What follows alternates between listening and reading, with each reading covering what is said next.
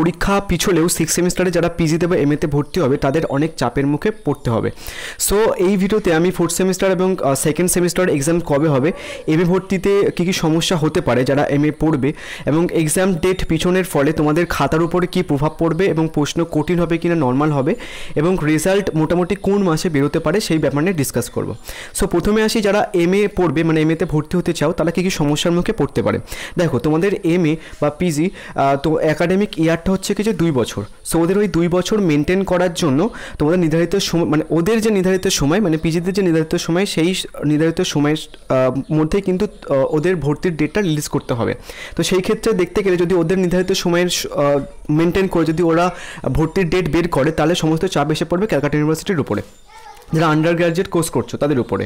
তো সেই চাপ যদি নর্মালি ওরকম টাইপের কিছু হয়, তাহলে সমস্ত চাপ আসবে হচ্ছে টিচারদের উপরে। অ্যান্ড টিচাররা হচ্ছে কি তোমাদের খাতাও সেইভাবে দেখবে। আলটিমেট তোমাদের চাপটা, সমস্ত চাপটা মানে এই যে এক্সাম ডেট পিছিয়েছে, সেই চাপটা আলটিমেট তোমাদের উপরেই পড়বে। সো যদি ভালো টিচারের কাছে পড়ে, তাহলে খাতাগুলো সেইভাবে দেখা হবে।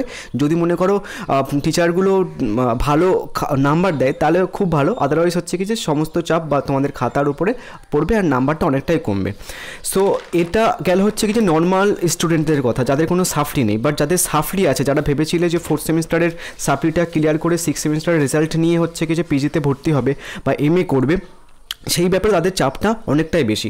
কেননা এই বছরে তোমাদের ফোর্থ সেমিস্টারের যে রেজাল্ট সেটা বের করতে অনেক ডিলে করবে। কেননা যেহেতু সিক্স সেমিস্টার রেজাল্ট বের করবে, ওরা নর্মাল স্টুডেন্টের কথাই ভাববে, যেহেতু নর্মাল স্টুডেন্ট অনেকটা বেশি, তো নর্মাল স্টুডেন্টের কথা মাথায় রেখে হচ্ছে কি রেজাল্টটা আগে বের করবে সিক্স সেমিস্টার রেজাল্ট কিন্তু ফোর্থ সেমিস্টার রেজাল্ট বের করতে অনেকটা ডিলে করবে। সো এবার বলি যে তোমাদের তাহলে ফোর্থ সেমিস্টার বা সেকেন্ড সেমিস্টার এক্সাম ডিলে হবে কি না অবশ্যই ডিলে হবে, কেননা যেহেতু সিক্স সেমিস্টার এক্সাম ডিলে হয়েছে, তাহলে ফোর্থ সেমিস্টার এক্সাম ডিলে হবে। সেই ক্ষেত্রে তোমাদের ফোর্থ সেমিস্টারের এক্সাম হচ্ছে কিছু অগস্টের দিকে নিয়ে যেতে পারে। সেই ক্ষেত্রে সেই জন্যই বললাম আমি যে তোমাদের রেজাল্ট বের করতে ফোর্থ সেমিস্টার রেজাল্ট বের করতে অনেকটা ডিলে করবে অ্যান্ড সেকেন্ড সেমিস্টারের এক্সামও ডিলে হবে। এবার আসি, পরীক্ষার প্রশ্ন কঠিন হবে কি নর্মাল হবে? দেখো, পরীক্ষার প্রশ্ন তো অলরেডি হয়ে গেছে, যেহেতু সাতাশ তারিখের এক্সাম ডেট বলা হয়েছিল, তো পরীক্ষার প্রশ্ন অলরেডি করা হয়ে গিয়েছে। I don't think normally Calcutta university আবার ডাবল করে কোশ্চেন্স করবে অ্যান্ড বাজেট অতটাও নেই যে আবার ডাবল করে প্রশ্ন করে আবার টাকা খরচা করবে। সো এটা গেলে তোমাদের প্রশ্ন কঠিন হবে কি না সহজ হবে। দেন তাহলে সিক্স সেমিস্টারের রেজাল্ট কোন মাসে বেরোতে পারে? সো আমি গুগলে দেখছিলাম, তো গুগলে দেখলাম যে তোমাদের আগের বছর মানে দু হাজার বাইশে সিক্স সেমিস্টার রেজাল্ট বের করেছিল হচ্ছে কি যে আঠেরোই জানুয়ারি। তো সেই হিসেবেই তোমাদের পিজি আর এম এর ভর্তির ডেটও দিয়েছিল, ঠিক আছে? হয়তো রেজাল্ট বের করার মধ্যেই পিজি বা এম এর ভর্তির ডেট দিয়ে দেয় বা দু এক সপ্তাহ লেট করে। এবছর হচ্ছে কি আরও দু এক সপ্তাহ লেট করবে। যদি ক্যালকাটা ইউনিভার্সিটি আগে রেজাল্ট বের করে, তাহলে হচ্ছে কি নর্মাল ডেটই থাকবে পিজি বা এম এ ভর্তির ডেটটা আদারওয়াইজ হচ্ছে কি, ওটারও ডেট ডিলে করবে। বা এটাও ডিলে করবে না, যারা ফোর্থ সেমিস্টারের সাপ্লি ক্লিয়ার করে হচ্ছে কি যে সিক্স সেমিস্টার রেজাল্ট নিয়ে পিজিতে ভর্তি হতে পারবে। ঠিক আছে, তো ওদের কিন্তু প্রচণ্ড সমস্যা পড়বে।